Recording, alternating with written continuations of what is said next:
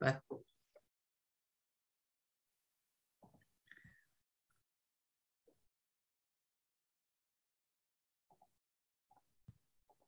some of you have been around a very long time around the vaccine world.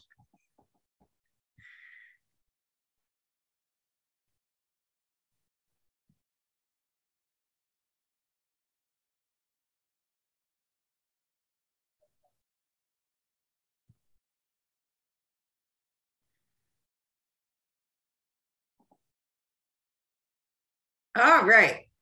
It's 12 o'clock, so I'm going to get started. So, my name is Rebecca Nevadale, and I'm with TAPI, your vaccine coalition in Arizona.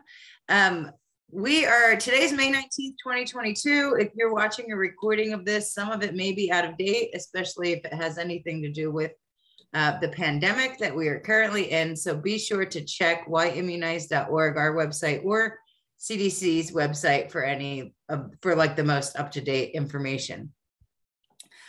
Uh, we are still kind of coming down off of cloud nine um, for our annual award ceremony, uh, where we celebrated all of you and all of the uh, social service professionals, public health professionals, EMS folks who do things every day to keep herd immunity and protect our community um, from disease.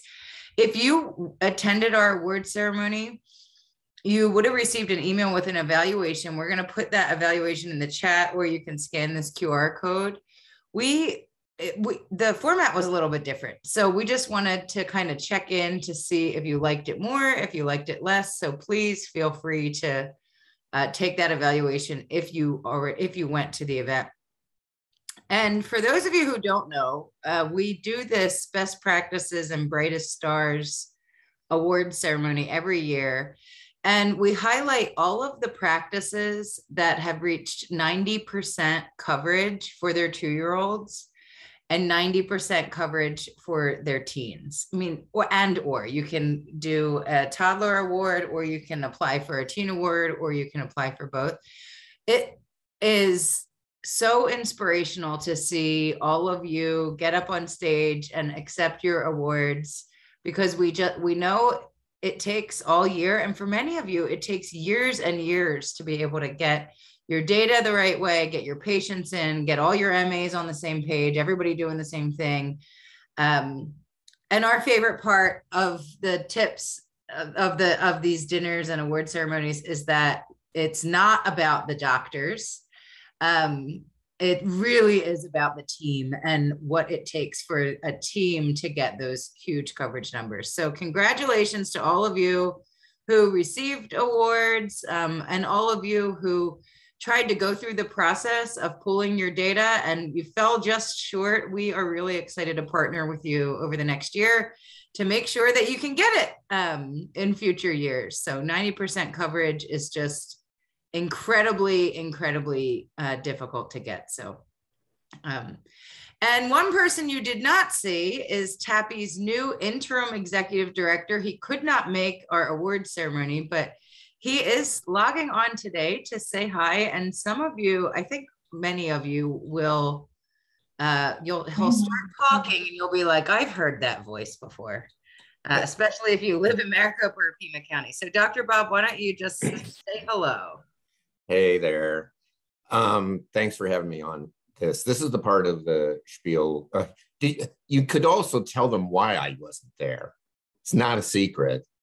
Well, uh, well, I don't. I don't typically share people's health information. Okay. Okay. So so the, the event. Yeah. Well, I wasn't listening. I got in trouble for sidebar so, So the morning of the freaking event, I tested positive for COVID. So there you go um, along with so many others of us. Um, so I was I was bummed to miss it, but um, uh, I understand it went really well, um, and you all deserved all the awards that you got.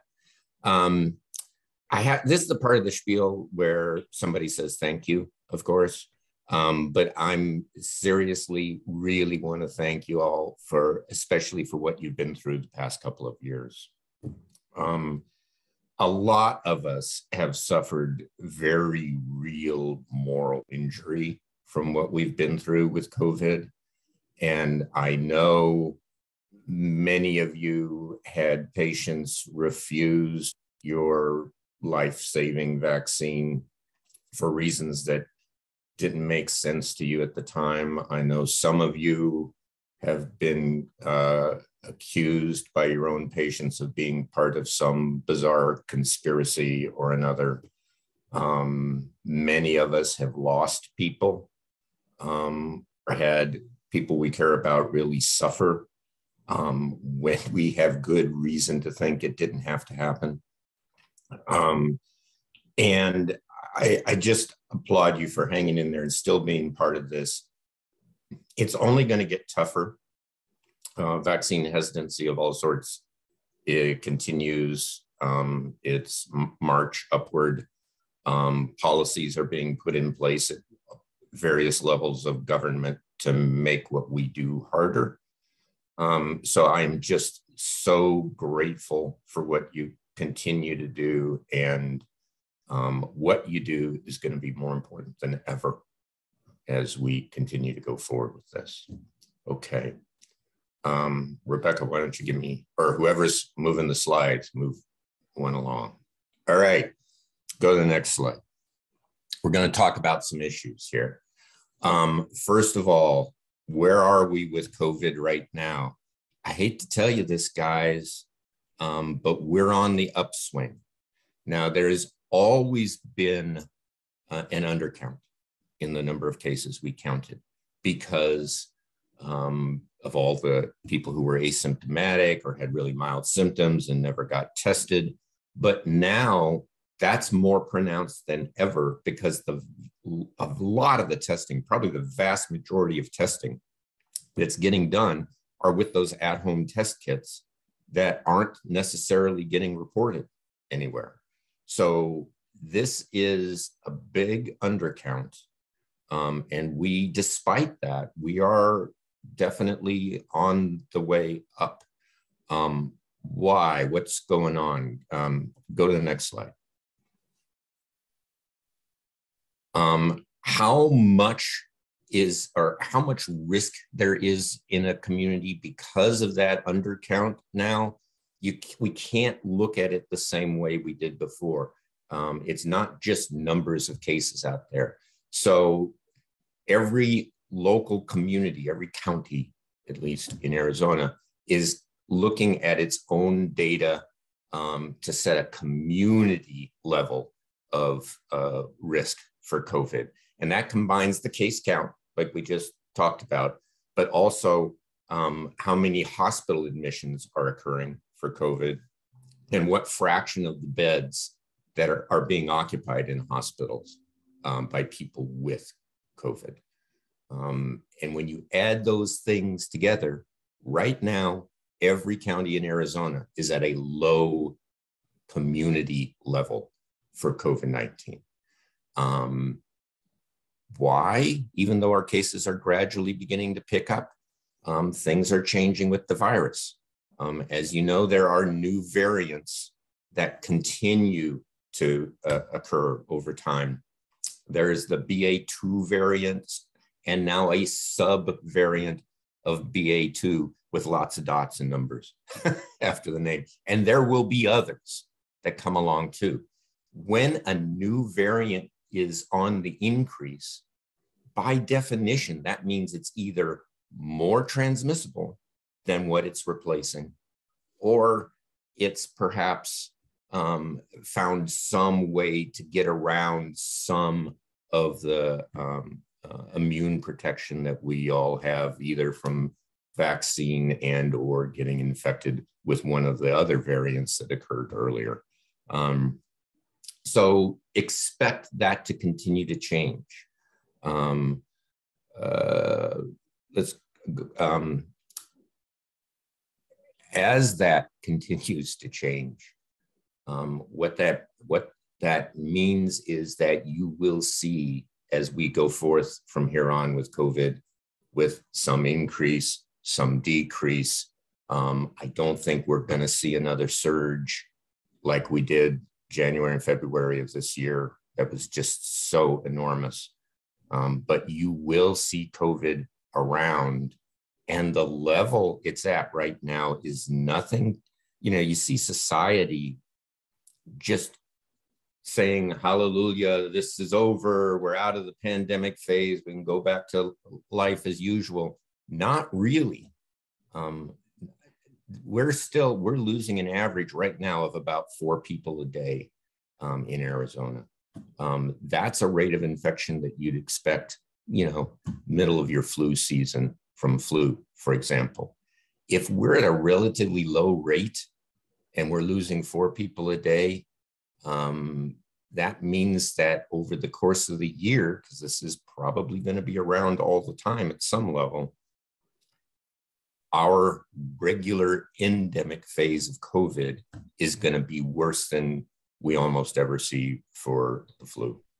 Um, and so just be prepared in your offices, even though the community level of transmission is low, keep the masks on, keep the masks on your patients. There's no guidelines that says it's time to take off masks in, in healthcare settings. So keep that, um, keep that going.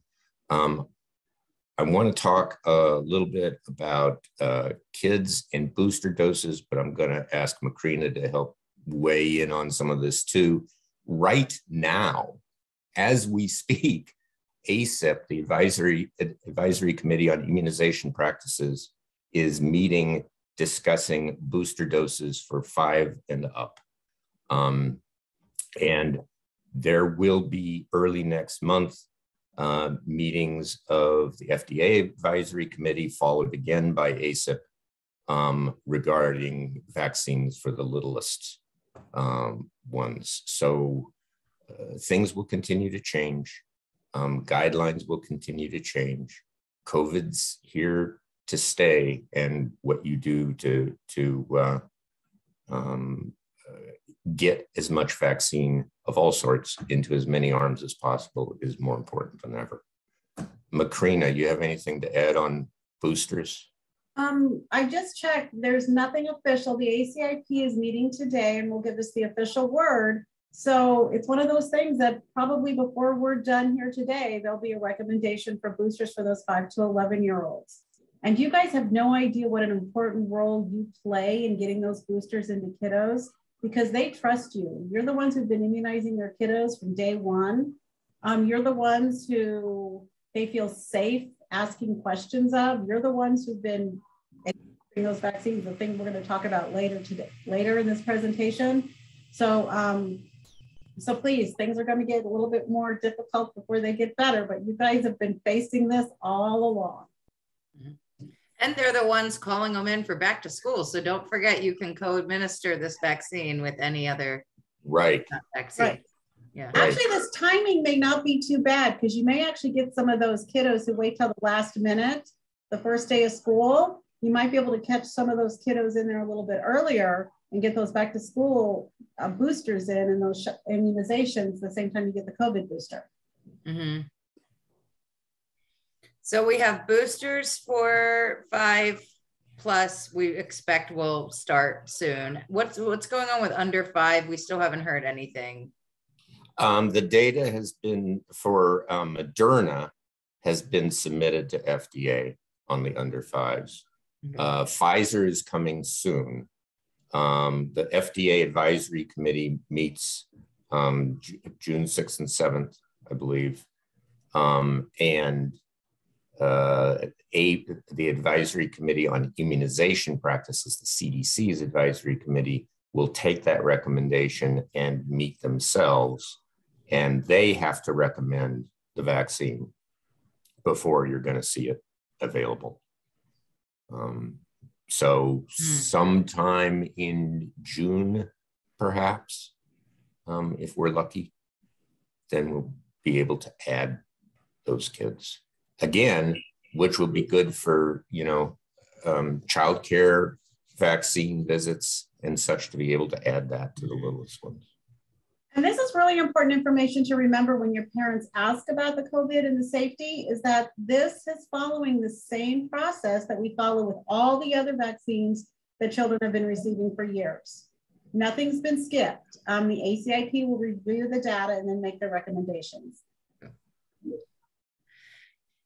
So, so it's just to kind of summarize, Dr. Bob, it's been a hell of a few years. Um, he knows it, we know it, we've all been kind of living through it.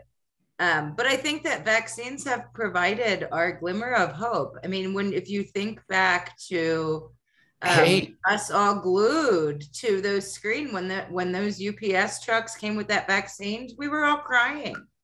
Um, uh, li- listen, you all out there who've given a bunch of this have saved a lot of lives. Millions, Period. yeah, millions Period. of lives, yeah. And as much as we may be saddened that um, we didn't do as well as we should have as a nation and as a state with this. Um, don't discount mm-hmm. how much was done. I mean, my God, that that we had such good vaccine so fast um, is just amazing, and it continues to work. Um, in January, during the height of the uh, Omicron uh, variant, people who ha- hadn't gotten any COVID vaccine compared to people who'd been vaxxed and got at least one and got one booster dose of vaccine um, were 180 times more likely to die. 108 in Arizona. 180 times. That's how much protection you're offering people. So there you go. That's that. Those are great. We're curious to hear from you. There's a poll that just popped up on your screen about who you're offering vaccine to or who you're planning to when under five comes. Um, uh, for a couple different reasons, we're interested in this, but we know that because we've talked to a lot of pediatric providers, especially that because you can't do your whole population, you know, whole population, you're just kind of waiting for those babies.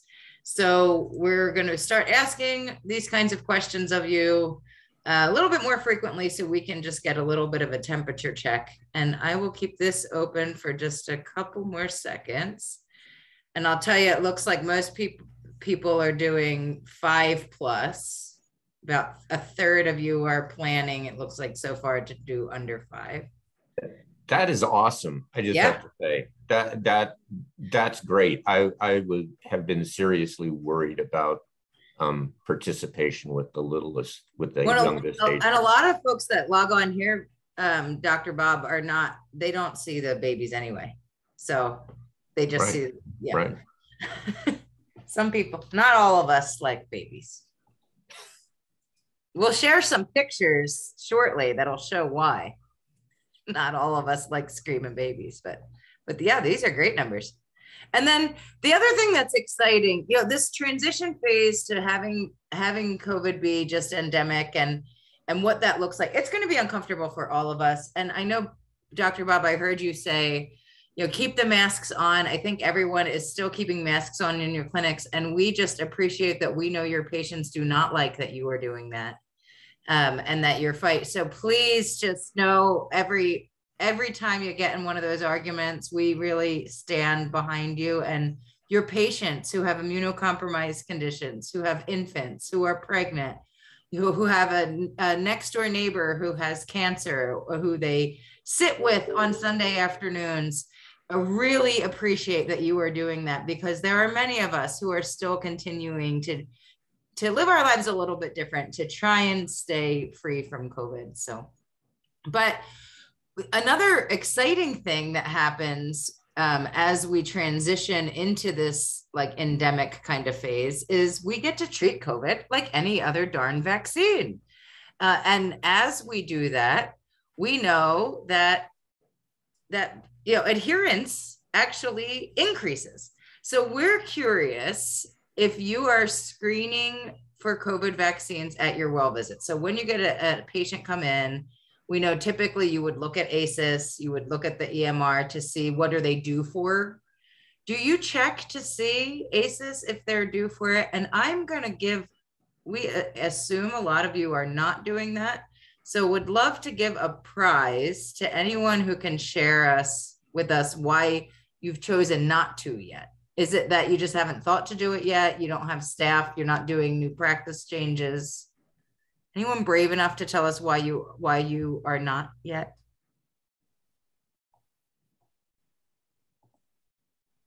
Oh, Zachary gets a prize. We try to, but ASIIS isn't always up to date. Yes, that's been a um, hopefully that's better with COVID, but it's always a challenge with provider offices. You know, the data doesn't dump, and and they're always ASIIS is always working to improve those things. So Zachary will get a prize. Uh, Denise says they're not offering COVID vaccine yet. Um, would love to know why. Purchase of a freezer. Oh, Sylvia's waiting on the. Remember, we don't need ultra cold freezers anymore. So if you have any um, questions about that, let us know. We can we can send you some information about storage and handling. A lot of people don't realize that. We do not need ultra cold. Uh, provider choice, yeah, I'm not surprised some providers are just choosing to not talk about it yet. Um, hopefully, as we adjust over um, the next year to this new life, um, we'll be we'll be willing to to have to have those discussions again.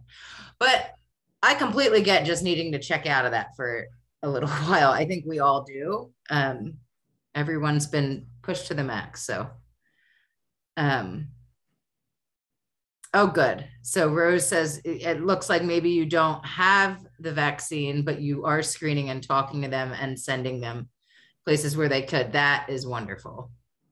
And most of you are screening, which is great. Well, we're excited to go into the world where this is just any other vaccine. And check for those of you in your chat, check keep your chats open because um, Laura Smith from TAPI was going to be contacting you for your addresses for your prizes. Um, yeah, a lot of those storage and handling for COVID vaccine have gotten a lot easier, just so you all know. And actually, next month, we're going to go over cold chain so maybe Macrina, we can plan to do a little overview of, of Pfizer now because uh, we we continue to see some people think that it's it's really a lot to store it um, when it's a lot of those difficult things have been uh, changed due to the data lack of space. Yeah. Cool. All right. So today, thank you all for all that chat and Dr. Bob for your words of encouragement. Um, we're happy that you are new ED um, and can bring us through all of these crazy transitions. So uh, he's certainly not new to vaccines. So, uh, so we're going to talk about administering vaccines today. So you have had that discussion with your families. They've you've gotten the yes. You've gone to the fridge. You draw up the vaccine you have your other MA, double check that it's the right vaccine, the right dose for the right patient. Uh, you wash your darn hands a lot throughout that whole process. You go into the exam room. Now we get to actually save the life and administer the vaccine. So, one of the most important things to do and to think about when you're administering vaccines is you do not want to poke yourself right? Proper administration techniques helps prevent errors, and that is an incredibly important thing. Uh, we have this video that we found uh, from the Children's Hospital of Philadelphia, where Dr. Paul Offit lives, who is a pediatrician celebrity and vaccine celebrity. And it's actually intended for parents, but we thought it was so good we wanted to share it with you. So we're going to go ahead and share it and we'll pause it kind of intermittently too uh, the first chunk here it's going to talk about how parents should prepare their their kids uh, for the vaccine visit. But we think there might be some cool takeaways for you too.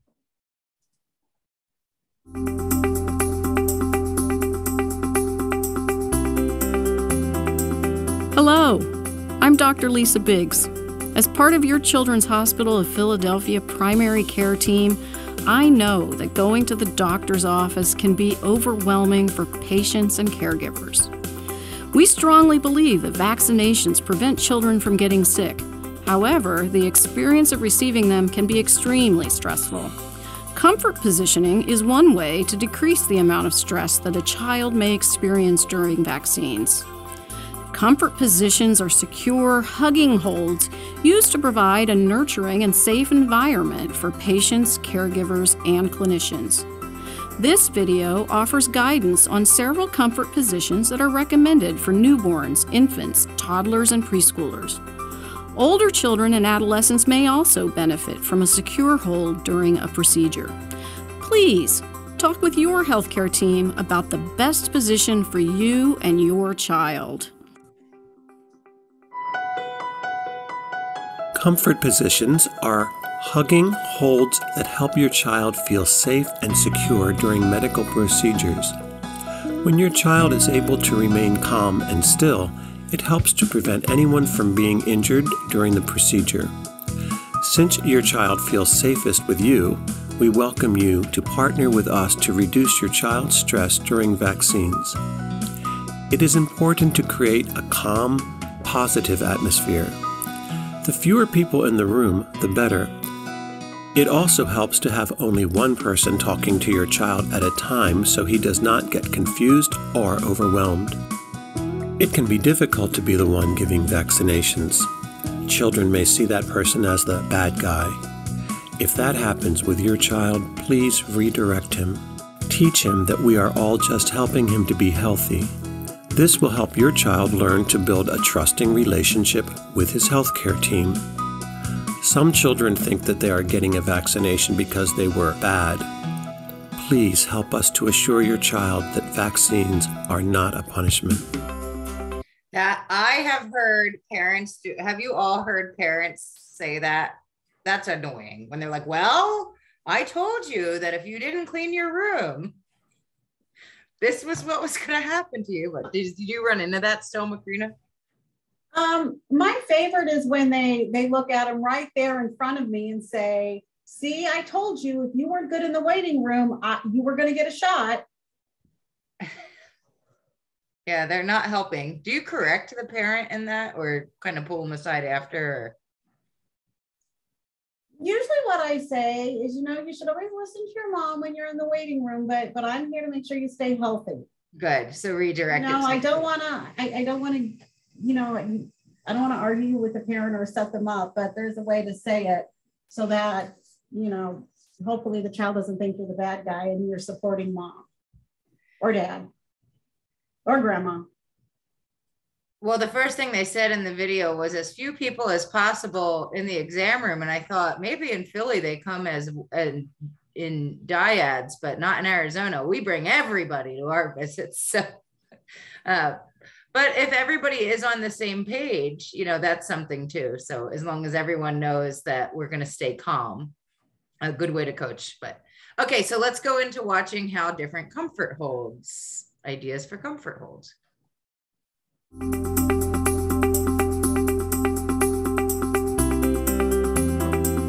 Hello, I'm Dr. Lisa Biggs. As part of your Children's Hospital of Philadelphia, used to benefit anyone from being injured during the procedure. It is important to create a calm, positive atmosphere. If that happens with your child, please redirect him teach him that we are all just helping him to be healthy. For a preschooler or young school aged child, the side sitting position works well. In this position, your child can easily choose to watch or look away while receiving vaccines.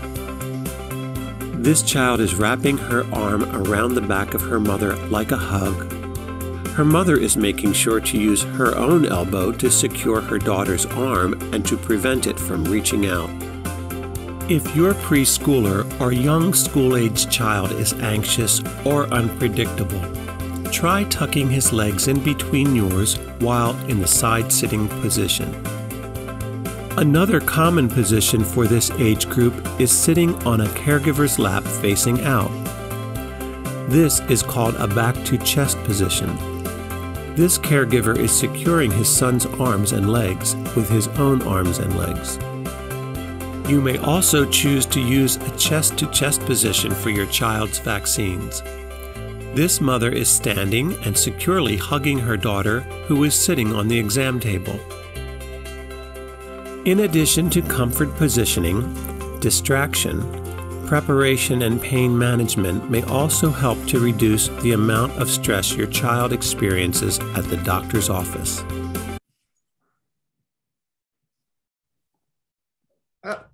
Yeah, and I know how sometimes uncomfortable because it feels like you're giving up control and that that parent's not going to give that tight hug for as long as they need to. Part of it is just explaining to the parent to keep that tight hug going until I say, okay, we're done. Um, and so that's just really important to give some um, um, education ahead of time that they just hold on until we're done. Um, and the other is, is a lot of time parents, if a child wants to scream or cry, they want to put their hand over their mouth. Um, it's okay.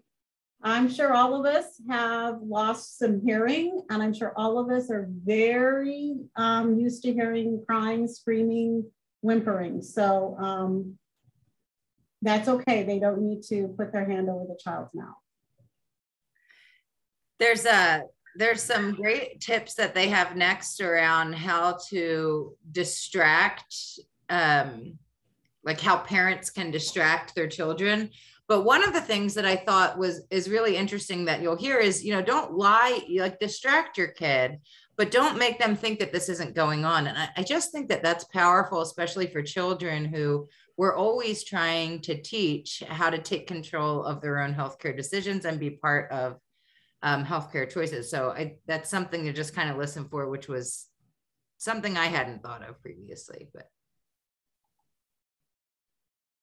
In addition to comfort positioning, distraction, preparation, and pain management may also help to reduce the amount of stress your child experiences at the doctor's office.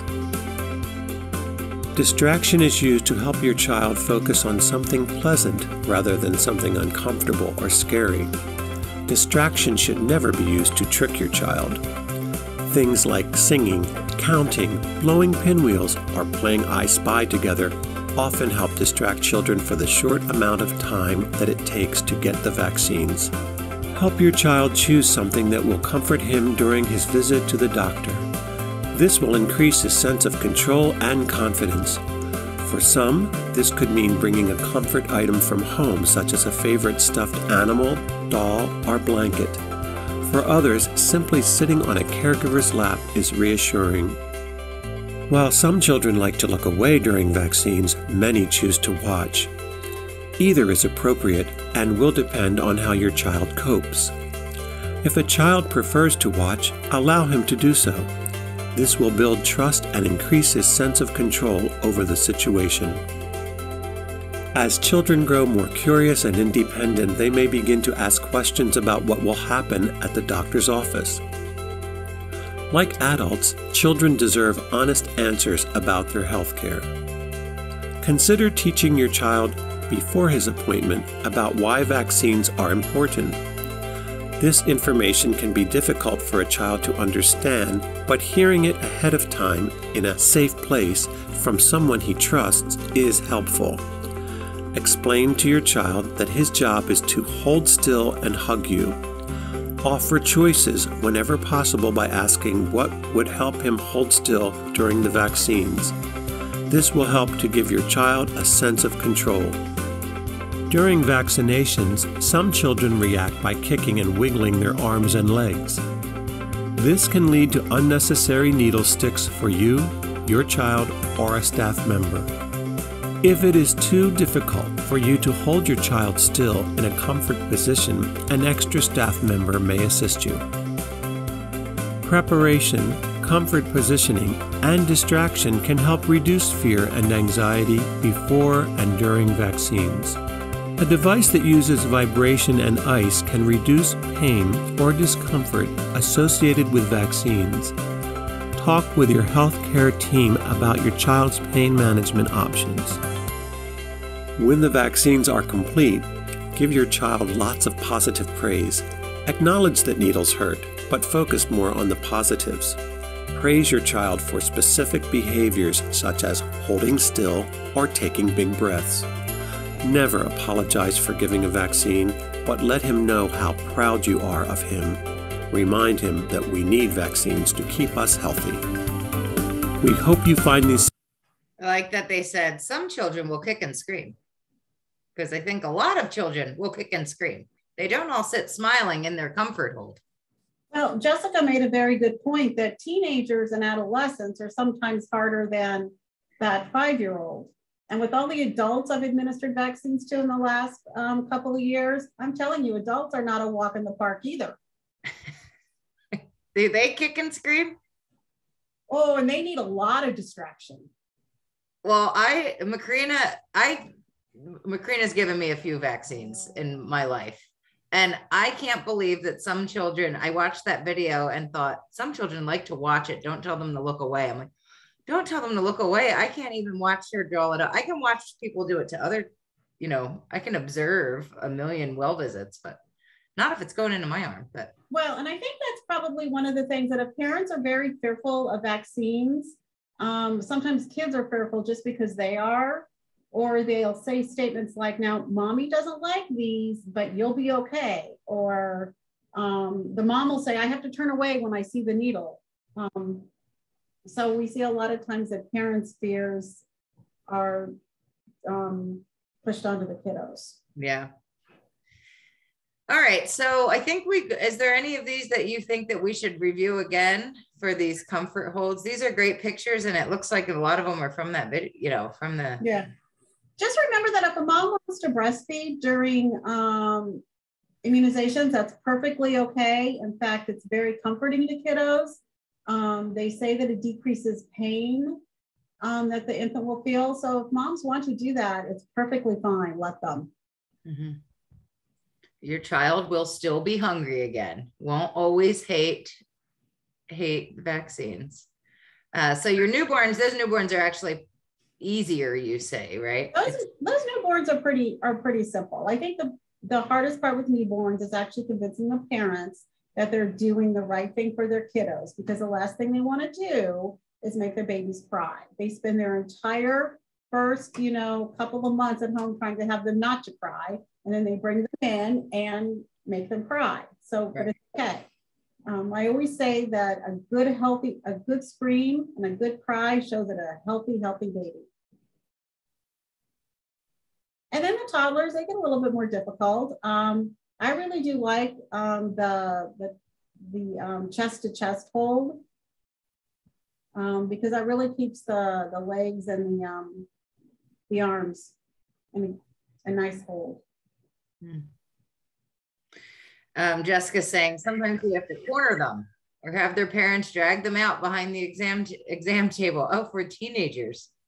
Oh yeah. Uh, yeah, I think that that brings up a good thing too. That sometimes your parents, for whatever reason, maybe their mom's just not having a great day, um, but they might not be in a space where they can provide a good comfort hold that's going to keep that patient safe and you safe. So never feel like you can't pull in another MA or another nurse or two or three if that's what you need to keep that patient safe. So.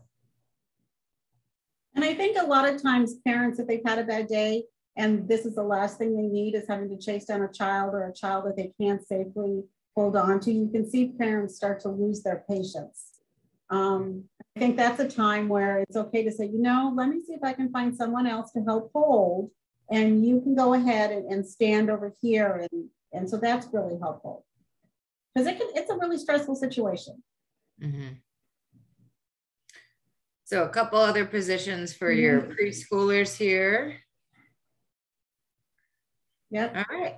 And as Rebecca said, these pictures are older than time. At least she hasn't made the joke that they're older than me. So well, Bob's on. I can pick on Bob today. Oh, thank goodness. Um, I, yeah, thanks. yeah. Well, you know what? We keep using the same pictures because sub Q is sub Q. So yeah. um, sub Q is going to go in the fatty tissue as the picture shows. Um, it's in the same location, whether you're a baby or whether you're an adult. Then you're going to go with the IM. Again, you can give two IMs in the same deltoid separated by, on the same muscle, separated by one to two inches. You're going to go in in a 90 degree angle. Um, for those of us who are older than dirt, as Rebecca likes to say, we do not need to aspirate anymore. I think that was the hardest thing for me to learn not to do. Chubby little legs. Yeah, there's that chubby little legs. They're just so nice when you see those chubby little muscular legs come in. Um, it's going to go there in the vastus lateralis, right there in um, the middle. And then three years and up, you're going to go ahead and go in that deltoid. And then, and we have a, a video that uh, just a two minute video that I'll give some tips. I think Kristen gives some tips there on finding that deltoid. Yeah. Yeah. Mm-hmm. Okay, our subcutaneous vaccines are our MMR, varicella, and polio. And everything else we administer is given intramuscularly as well as the COVID-19. This is something that only that Maricopa County uses. It's just a process where we have certain vaccines that go on the left, we have certain vaccines that go on the right. It's just one of those other pieces and tools we use um, to decrease risk of error. Um, and again, this is just a guideline. It's not a rule. It's not a policy. This is not ACIP or CDC um, recommended. We just use it. But keep in mind, if you have a kiddo, if you have a, a five-year-old who's getting ready for his kindergarten vaccines and they need a ProQuad and a um, DTaP IPV, if you've got that child held really well after chasing him around the exam room, pulling him out from under the exam table, um, and finally get a really good hug and hold onto him, you can give all those vaccines in the same arm. Don't risk trying to move them around again. Um, so again, this is just really guidelines. Right. And I think a lot of practices, this is one of those tools that we show in tips, and a lot of people really, really like it because it does help reduce error. And um, we hear from practices that when everyone's doing it the kind of the same way, it makes your onboarding and your training easier. So if you're a practice that um, tends to get a lot of um, new MAs all the time, especially, uh, you might want to think about talking to Macrina about kind of pros and cons of doing something like this. So uh, Lorraine's asking, explain PCV 15. Is that, is that the Oh, so PCV 15 is the pneumococcal 15 that is for adults currently. Um, and so you're going to give PCV 15 to an adult, um, older adult. There are a lot of high risk categories um, where you can administer PCV 15, and then you're going to follow it by pneumococcal 23 a year later. Is there a, don't we have an algorithm workflow or something for that? We have something written down for yes, that? we have an algorithm for that, but the, I think the, I don't know if it's been updated or not. I know the old algorithm uses PCV seven and the pneumococcal. Okay. This is going to be PCV 15. And then so we will be sure, Lorraine, before next tips to dig something out or have uh, Dr. Lewis, if, if it's something she needs to do for us, our immunization program. Um, Dr. Lewis, the queen of vaccines in Arizona. So. Uh, okay, this baby looks like a crying one, but that's a good one for oral. Yep, yep, that's exactly what you do. Um, and remember, when they're crying, they got a lot of saliva. So if they spit a little bit up, they still got the vaccine. You don't need to repeat it.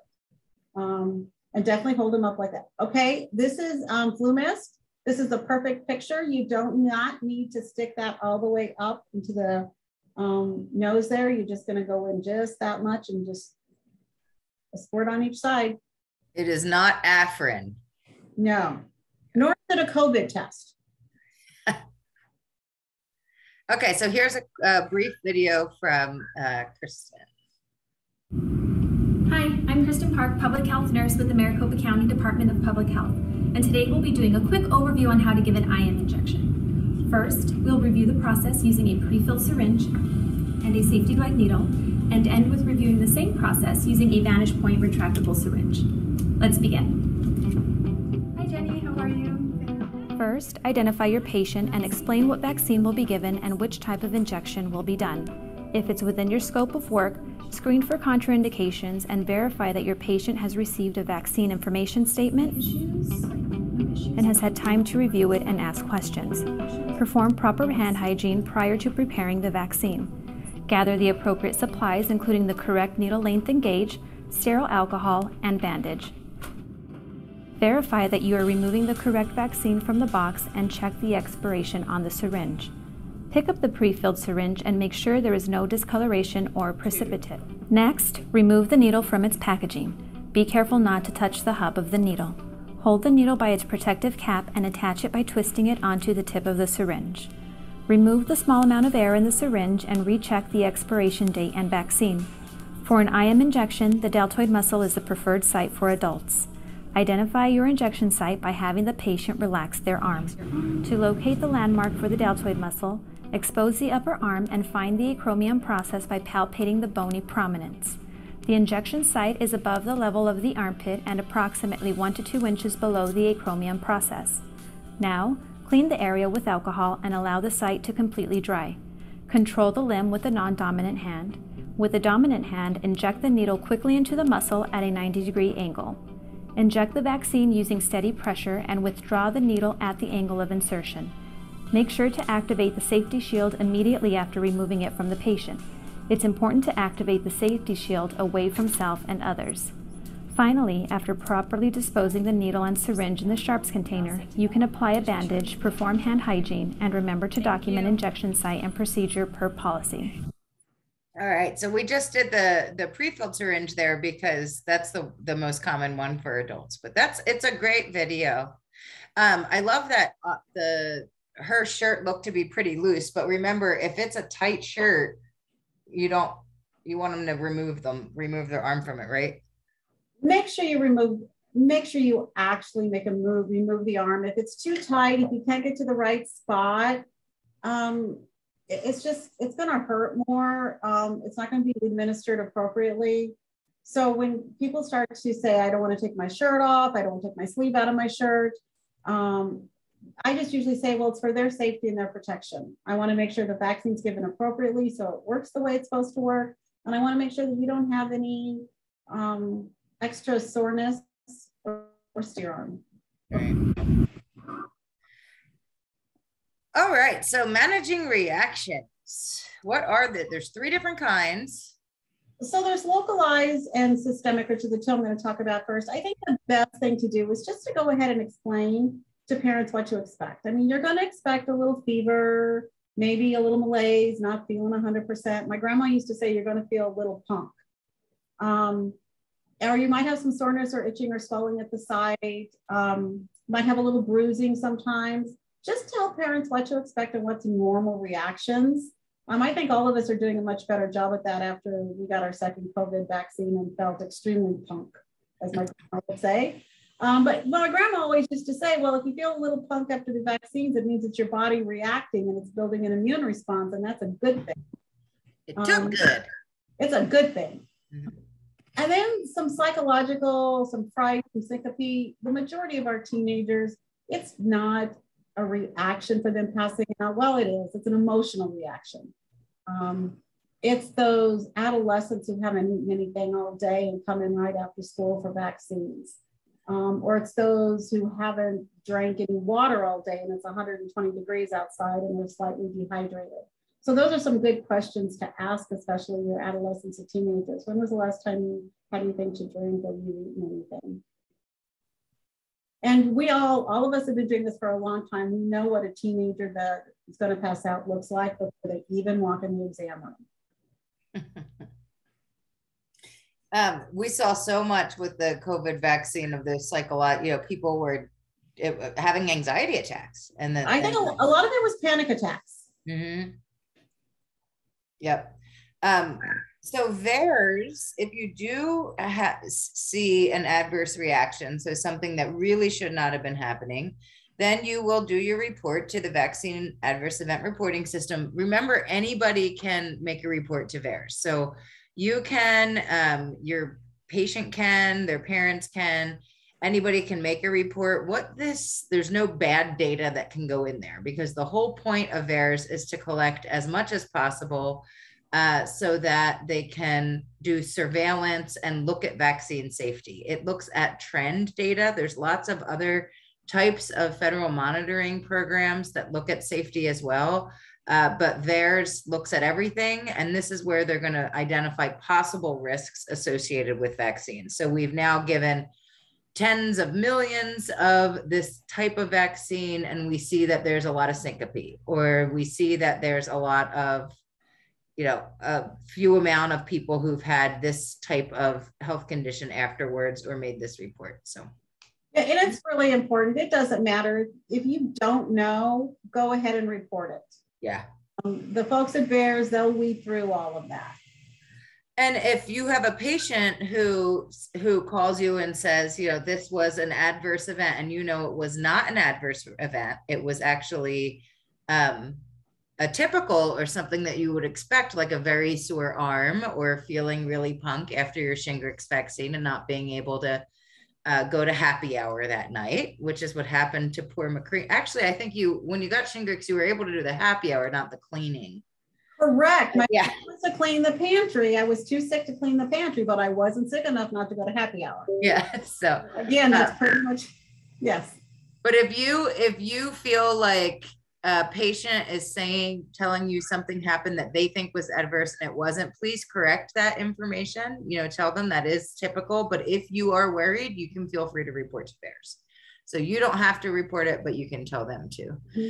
Um, we have another poll here. We're just curious to see if you have ever seen an adverse reaction. So I'm going to launch that. And Macrina, what an adverse reaction is something really out of the ordinary, right?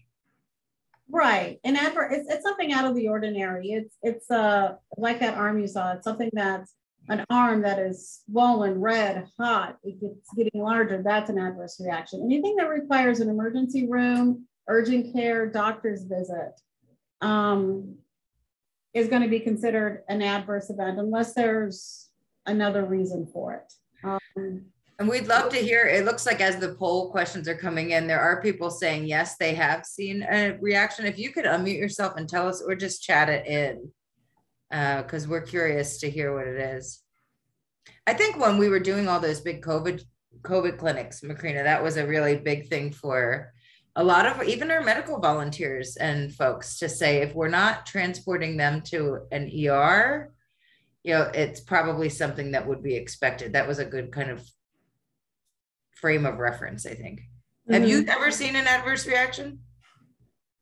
Um, you know what? I saw one years ago when we were giving whole cell pertussis, the old fashioned DTP. We would see a lot of, of severe of reactions that required ED and um, and hospital visits and, and doctor's visits. But since then, I really haven't seen anything significant. And you give vaccines like a lot. That's all. A lot of it. We give a lot of vaccines, and very seldom do we see anything that's that's out of the norm. Out of all the years that I've been working, decades, um, I've seen maybe one or two, and it's just the that redness, swelling, um, hot feeling, and the provider just saw the patient and they were fine. That's all I've had. But I've been doing this for 20 plus years, so not very many. Thanks, Ursa.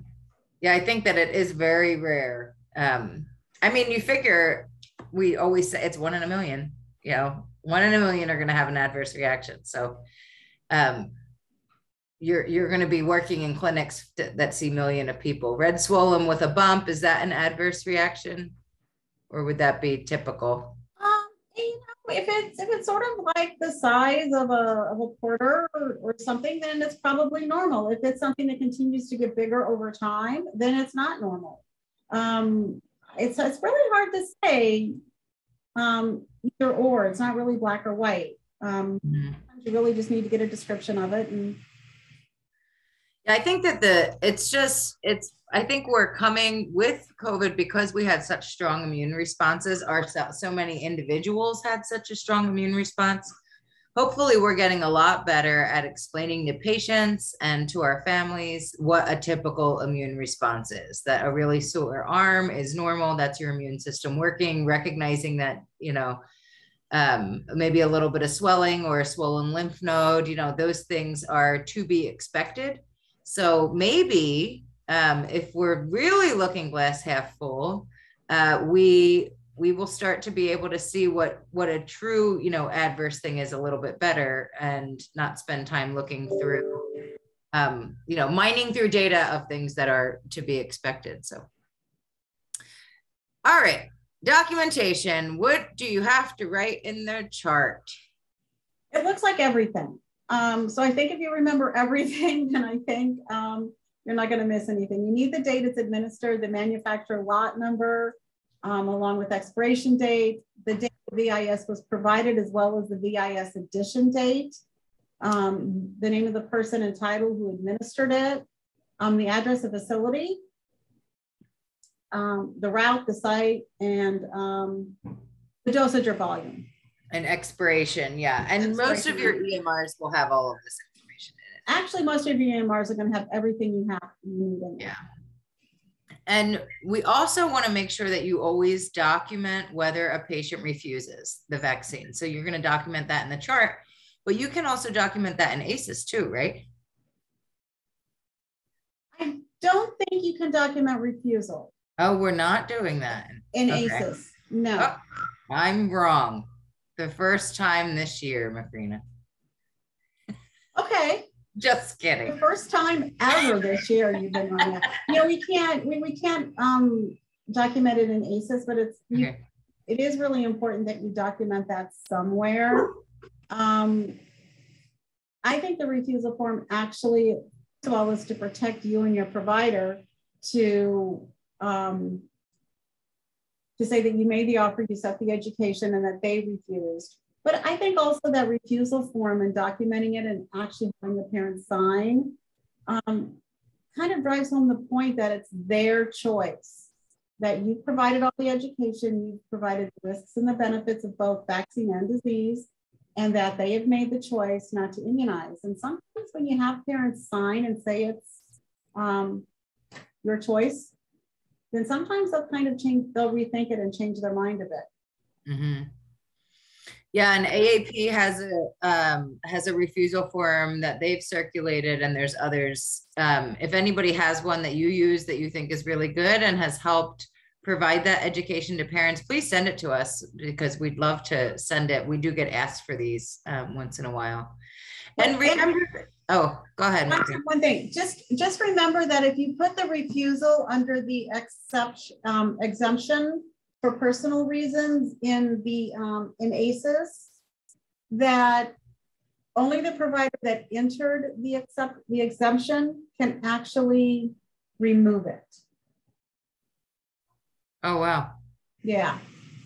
Which for for those that are medical homes that you right. know that's perfectly appropriate, you know. Um remember to not you know always tell the provider if that patient refused. Always remember to tell the provider because we know that that interaction with the physician or the nurse practitioner is can be really powerful. Um, and and they'll most you know your good providers will spend the extra time uh, to answer any questions that that family has. So make sure that you tell them. Um, it is such a team sport vaccines. So you have a role in convincing and empowering those families uh, and helping give them the inf- right information. So do your providers. We have donna furlong as a member of our team. Uh, she is the nurse at at banner health and has done a lot of these tips uh, events in the past especially in coconino county uh, navajo and apache county uh, now she's with Banner down in, in, here in Phoenix, but she recently got published uh, by the American Academy of Ambulatory Care Nursing. So we just wanted to, um, we put the link to the article in your chat, but we wanted to say congratulations to Donna and hope that you all read this because I think that um, it does go to show just the role of the whole team. And she's using HPV as a as an example, but it's just a really great article. And we love you, Donna. So congrats. All right. Well, we will keep the line open for a little, a couple minutes, like we always do, in case you have any other kinds of questions that you uh, that you would like to ask. I think our next tips is June um, 16th. 16th. Uh, we're going to go over cold chain um, and enjoy your enjoy your May. We'll see you all in Flagstaff soon because it's getting real hot down here in Phoenix. So we'll we'll be clogging your roads in no time. Don't you worry about it. Thank you all so much.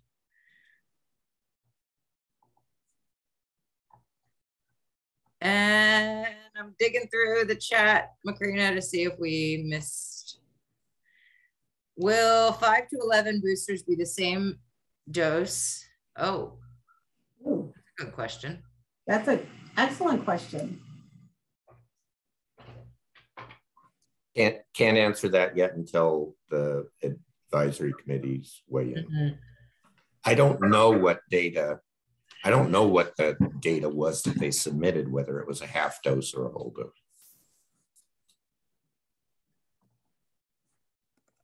Yeah. Great question. Yeah, we're we're gonna have to make sure we um There was, send that out as soon as it hits, send it to all the providers and then just add the tech tips, add this list too. Um uh, do you want to talk about freezers? Macrina, they don't need any of You that. do not need an ultra cold freezer anymore. o- Um, only if you want to store it for a longer period of time. Right. So there was, there was a, there was a question earlier about the minimum order size um, for the gray caps still being three hundred doses and a perception that that's uh, discouraging some from ordering because they, they can only keep it for ten weeks. That's why I plopped into there the, the vaccine sharing Yeah, site because that's at least one way around it. But also, you know, some if if a county, you guys don't split up orders for providers anymore at Maricopa, do you? no, we don't. Yeah, it's it might actually work better with smaller counties.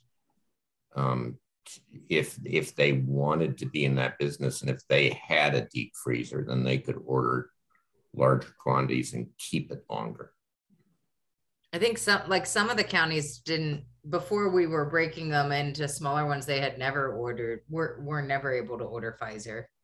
Yeah, yeah. Yeah, we broke it down when it was the minimum of doses, but Yeah, But well, well, way, we it was don't even, need- You can order smaller amounts now from right through ASIIS, and you don't. You can put it in your regular unit. y- yeah, but you still have to keep, uh, you still have minimum order sizes through ASIIS. And, and the questioner was right, it- it- the gray cap, it's still at three hundred doses. And so a, Yeah, and I that's it's the five so- to eleven. it's really uncomfortable for offices to order things when you know you're going to have to throw away you know you're not going to be able to use it but Right. please know that this will not hit your vfc uh, report cards you cdc has been very consistent about not wasting an arm if you they if you have someone in front of you that wants a covid vaccine they want you um, to be offering it in your practices so that you we don't m- miss any of these opportunities. So I I know it goes like against everything in your being to order vaccine that you know you're not going to be able to use. But remember, you will be able to try and find another provider office that can do it on the link Dr. Bob shared. And we really need you carrying this vaccine in your office. There's a question about, can you still use ultra cold freezer? Yeah, it varies Yes. by the, by the vaccine type, but it allows you to store it for longer periods and it's specific to each vaccine. Um, it'll, it'll tell you in the storage and handling and all of that's available. There are, uh, um, shorthand, um, descriptions of that available on the ADHS site where you go to, um, find out about each vaccine.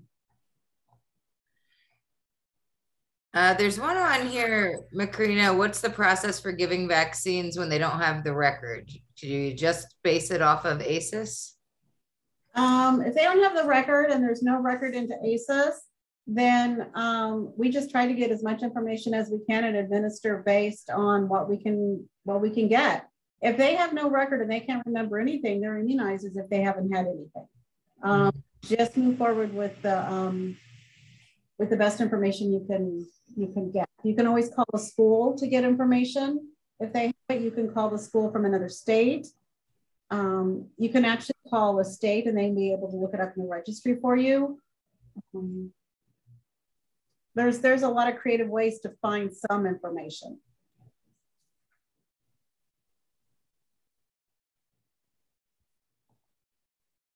If they don't have the card, do, they don't have do the any card. families show up with their? You know what is amazing is I have to honestly say that we see a lot of folks who show up um, with immunization records. Um, we see a lot of our folks who are coming from South America who show up with immunization records. Um, they flee, you know, they they flee their areas, and those immunization records are really important. Vaccines are very valuable to them, and we see them showing up all the time. Well, Yeah, we have a lot of people that depend on ASIIS. Oh, thank you, Jennifer, for finding that um, Oh, thank you. storage and handling site. can you document a COVID vaccine given by another provider in ASIIS? Yes, you just document it as historical. Um, you can't enter the lot number or expiration date or anything, but you can enter it as a historical vaccine.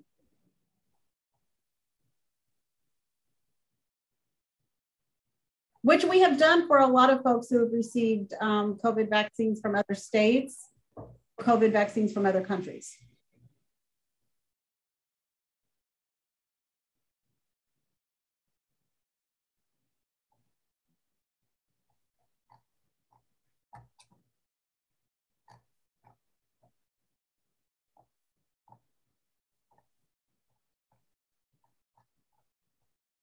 All right.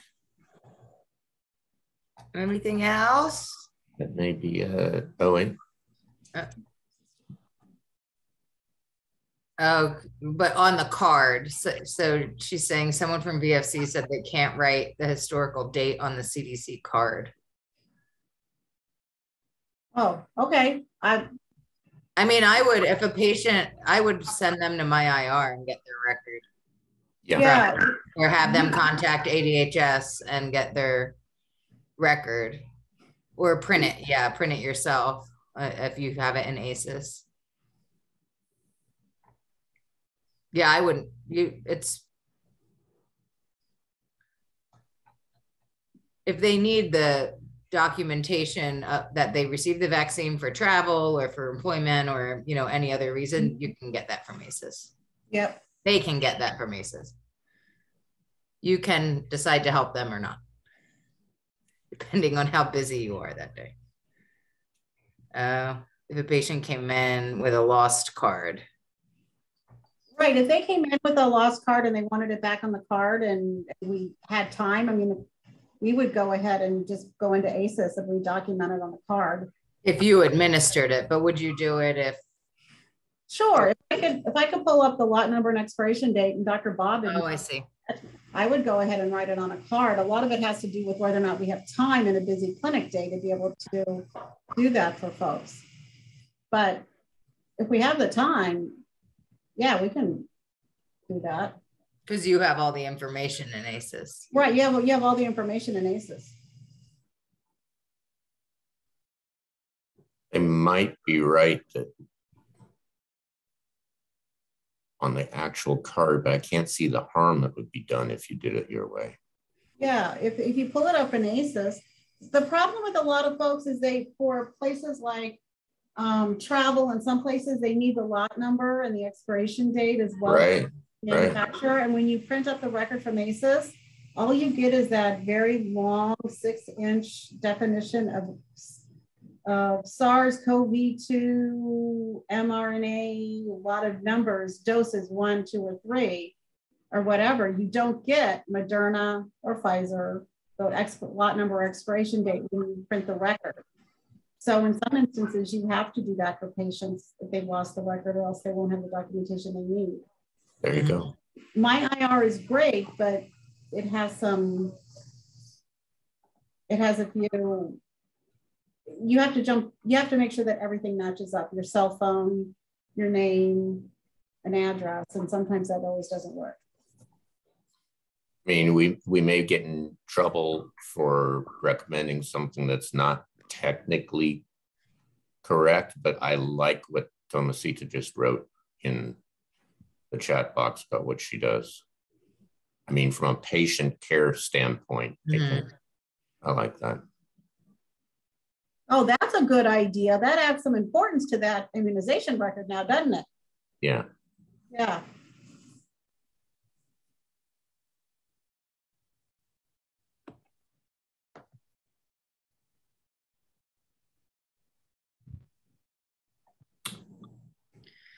Okay. Any other questions? Yeah. Oh, that's a great. Oh, yeah, take- remind added. Yeah. Thank you. Thank you. Thank you. Of course, if, if you got a smartphone, take a picture of your card. Yeah.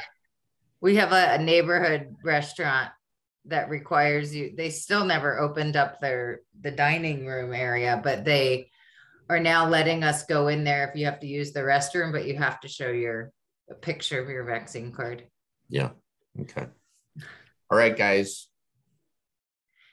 Well, thank you, everybody.